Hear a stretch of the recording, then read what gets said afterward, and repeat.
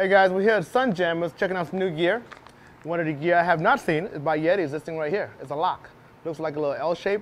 Looks totally ridiculous, but it'll save your Yetis from getting stolen. Check it out. Open your Yeti up. All the Yetis have these things right here. Turn it for you. There's a metal piece. Put it here. Close it. Put a cable lock on here or a general lock on anything you want.